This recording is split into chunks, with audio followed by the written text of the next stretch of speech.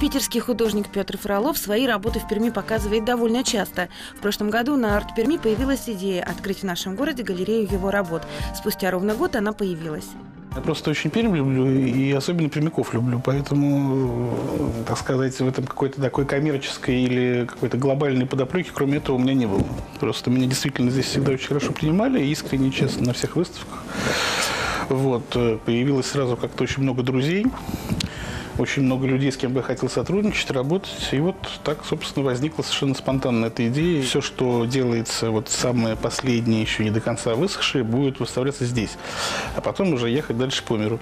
Работы Фролова пермяки любят и уже узнают. Он создает фантастические декоративные миры и наполняет их множеством деталей.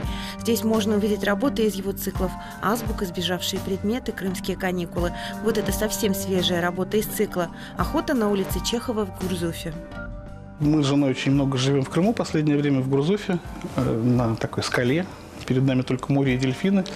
Э, вот, абсолютно мы там уединены, нам очень там нравится. Но это собирательный образ, это охота. Это Грузов состоит из э, блудливых котов, из каких-то ярко одетых, вызывающих барышень из какого-то мелкого и веселого жульничества, может быть, даже. Но вот это все как бы в купе.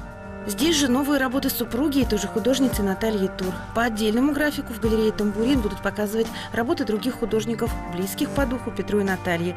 Планируется проведение мастер-классов. Возможно, откроется школа-студия для детей и взрослых.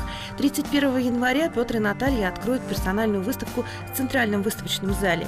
2 февраля там же будет бал-маскарад «Ожившие картины».